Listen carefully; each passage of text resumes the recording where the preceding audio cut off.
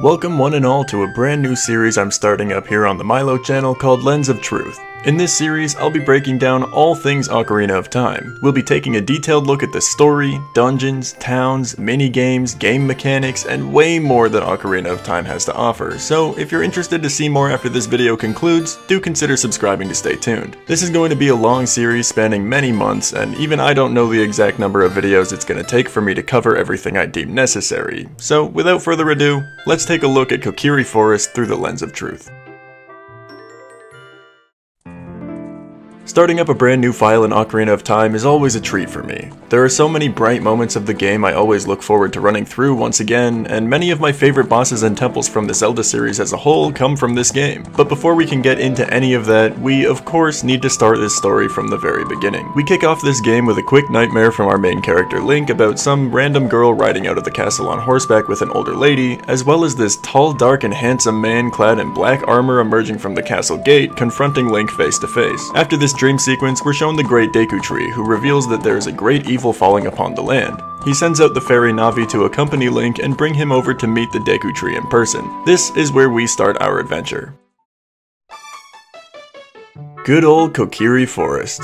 This little village is a fantastic little tutorial area to kick the game off, and I can't wait to get into all the little things it does to help the player along their journey. First things first, we're greeted upon leaving Link's house by his Kokiri friend Saria. She congratulates us on having finally gotten our own fairy companion and tells us that being summoned by the Great Deku Tree is a big deal and we should go right away. Once we reach the path to the Great Deku Tree though, we're stopped in our tracks by Mido, the village idiot. He tells us that it's too dangerous to continue through here without both a sword and a shield, and immediately we're given a new objective to achieve before we can follow the quest we're already on. Given the Kokiri shop is located right next to Mido, it's pretty easy to wander in there and find that there's a shield on sale for only 40 rupees. No matter how you navigate through the Kokiri forest, it's basically guaranteed that you'll come across at least 40 rupees without even thinking about it, so having a price that you'll need to return to being as low as it is, is just a great introduction to the way that shopping goes in this game. Straight out of the shop we have a little tutorial on how jumping works. Run up to a ledge and keep holding forward and there you go. You're a jumping master already. Jumping across these stones will give you 5 rupees as well, kickstarting your funds to buy the shield that you need so badly. Arriving at the end of these stones, there's a Kokiri boy nearby trying to pick up some rocks, serving as a tutorial to picking up objects off the ground. Picking up and throwing these rocks will break them and yield a decent number of rupees as well. From here, if you move up this hill right in front of you, there will be a small house and a fenced area. The house here belongs to the Know-It-All brothers, and once you enter it, there are three boys you can talk to about many of your different menu options. Everything in your start menu will be covered head to toe in explanation here, leaving no room for confusion. Exiting the house and exploring this fenced area will lead you through a series of signs all giving explanations of the different ways you can use your sword in this game.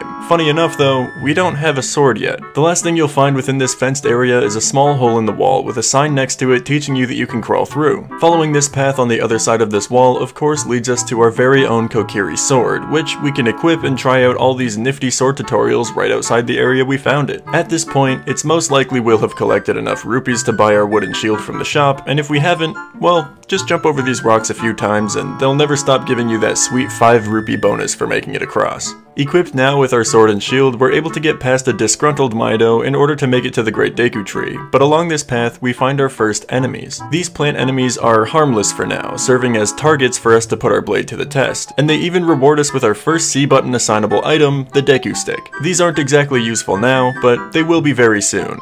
And at last, we've reached the Deku Tree. The Deku Tree welcomes us and tells us that he knows about the nightmares that we've been having. As evil prevails throughout the land, people with gentle hearts and noble spirits are able to sense it, explaining why Link has had such trouble sleeping as of late. Well, that and the fact that once he does get a bit of rest, he gets woken up by an annoying fairy yelling at him. He tells us that he's been cursed by this evil, and as a test to our courage, he asks us to wander inside of him to dispel the curse ourselves. The Great Deku Tree will be the first dungeon to kick off our fantastical adventure, and will serve as a topic of conversation for the second video in this series. Kokiri Forest, as a whole, is a great tutorial area. Once you're taught everything about the controls of the game as you follow what is basically a straight path from one tutorial to the next is just such good design. Mido stops you from getting to the tree without a sword and shield, the shop next to him has a shield for sale you'll need to save up for, the jumping tutorial sits right beside the shop, an item pickup tutorial lies straight ahead of where you were from the jumping tutorial, and from there, you're right next to the hill that takes you to all the menu explanations and tells you how to use your sword, by which point you'll most likely have connected enough rupees to buy the shield already. This is a great way to design a tutorial area in my opinion. None of these characters or signs are forced upon you if you don't want to read what they have to say, rather than just trying things out for yourself, but if you do, you'll basically be brought along this path of curiosities leading from one learning experience to the next. Aside from just the tutorial stuff though, there's also a few fun things that you can do in Kokiri Forest before you head out to the Great